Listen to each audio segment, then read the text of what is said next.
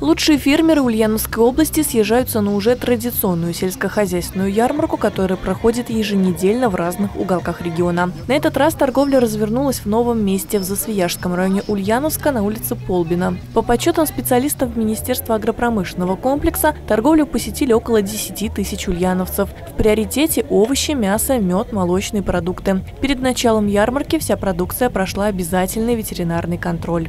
На некоторые э, продукты питания цены ниже рекомендуемых. Так, например, вот картофель от 8 до 10 рублей за килограмм а мы рекомендовали на уровне 10 рублей, поэтому э, цены приемлемы. Кооператоры, владельцы крестьянско-фермерских и личных подсобных хозяйств стараются привести на ярмарку все самое лучшее. Ведь от первого впечатления покупателей зависит дальнейшая успешная торговля.